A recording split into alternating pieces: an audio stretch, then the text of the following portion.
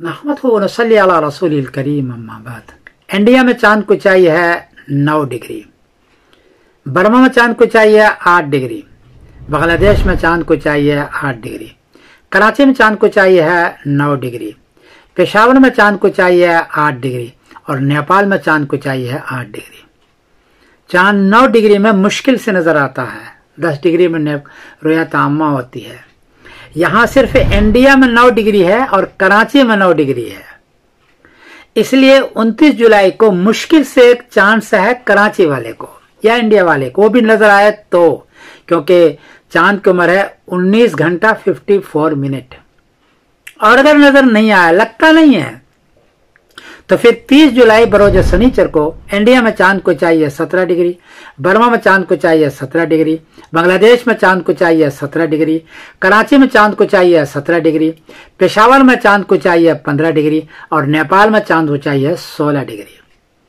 चूँकि 10 डिग्री से चाँद ऊँचा है, इसलिए 30 जुलाई बरोज शनिचर को चाँद नज़र आएगा, वाजा नज़र आएगा। 31 जुलाई बरोज एतवार को मुहर्रम की पहली तारीख होगी। इकतीस जुलाई बरोज एतवार को मुहर्रम की पहली तारीख होगी और इस एतवार से 9 अगस्त बरोज मंगल को दसवीं मुहर्रम होगी 9 अगस्त बरोज मंगल को। इतलान अर्ज़ कर दूँ, सऊदी अरबिया का उमुल कोरा कैलेंडर में 30 जुलाई के बरोज शनिचर को मुहर्रम की पहली तारीख लिखी हुई है। और वो हजरात 8 अगस्त बरोज पीर को दसवीं मुहर्रम उसके कैलेंडर में लिखा हुआ है। हो सकता है कि वो गाली गुमान ये कि वो ऐसा ही करेंगे। मुहर्रम का महीना बहुत अहम महीना है। नबी करीम सल्लल्लाहु फरमाया, काला रसूलुल्लाह सल्लल्लाहु अलैहि अफजल सियाम बाद शहर रमज़ान शहरुल्लाह मुहर्रम।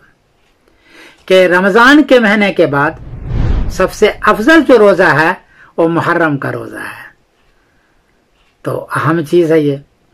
ये तिरमिजी शरीफ है, बाबा माजा फिसोमिल मुहर्रम, और नंबर है सेवन फोर ज़ीरो। तो नबी करीम वसल्लम भी नवी और दसवीं दसवीं को उन्होंने रोजा रखा और फरमाया कि अगले साल अगर मैं ज़िंदा रहा तो नवी का भी रोजा रखूँगा। इसलिए दसवीं मुहर्रम को रोजा रखना चाहिए, तिलावत करनी चाहिए, नमाज़ पढ़नी चाहिए, जक़ात, सदकात, खैरात करना चाहिए। खुशो खुजो के साथ यह करना चाहिए और अपने लिए दुआएँ करनी चाहिए। इस दिन हज़रत हुसैन रज़ी अल्लाह की शहादत हुई है। उनके लिए भी दुआएँ मगफिरत फरमाया यह है करने के काम, रोजा रखना खास तौर पर। दसवीं मुहर्रम को। ये जो ढोल ढमाके करते हैं या गाते हैं, बहुत सारे आशार या ढोल बजाते हैं, ये बाद के लोगों ने इसमें ऐड कर दिया है, जमा कर दिया है। असल ये नहीं है। असल है रोजा रखना। ये गैर तरीका है अच्छा तरीका ये नहीं है। इसलिए इन चीज़ों से जहाँ तक हो सके परहेज करें। ये तमाशे का और खेल का दिन नहीं है। ये बहुत बड़े बड़े काम इस दिन के अंदर होने वाले हैं। तो उसमें अपने लिए मगफरत क्या का ये दिन है? तो कोशिश ये करें। अल्लाह ताला इसकी तोफ़ी अता फरमाए। मैं समीरुद्दीन कासिम बोल रहा हूँ मानचेस्ट इंग्लैंड से। सलाम रहमतुल्लाहि व बरकातुहू